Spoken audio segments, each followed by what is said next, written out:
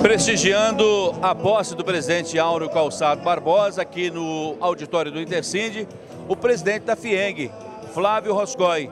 Todos os empresários, inclusive você, falando com muito otimismo desse momento e do ano que começa. É, a gente entende que o Brasil está saindo de uma crise, uma crise grande que assolou todo o nosso país e que agora são boas perspectivas, teremos reformas, reformas que vão melhorar o ambiente de negócio, pelo menos essa é a expectativa da comunidade empresarial. Com isso, vai liberar as empresas para gerar emprego e renda, porque na verdade o governo não gera nada. O governo retira de alguns para distribuir para outros. Quem gera riqueza é a iniciativa privada, é a sociedade. E ela tem que ter liberdade para gerar essa riqueza.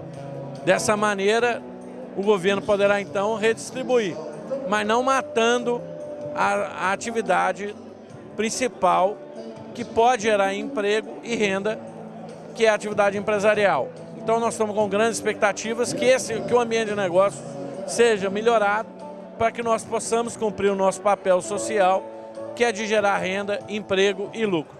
Flávio, o que eu tenho observado nos últimos anos é a parceria que existe entre a FIENG e o Intercinde.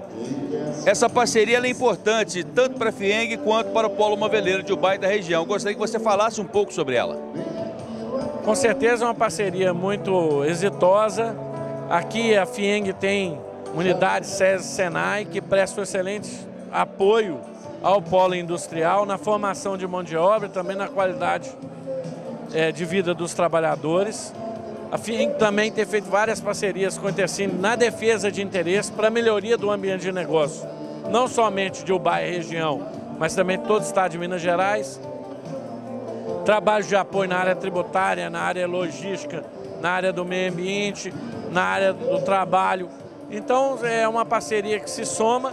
Os líderes do Intercine também têm sido líderes historicamente muito ativos e presentes da FIENG, que tem contribuído sempre com boas ideias, uma grande participação na nossa entidade.